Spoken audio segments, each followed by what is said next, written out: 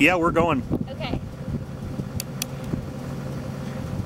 Okay, this is Jamie 54 caliber 70 grains black powder. So take your time.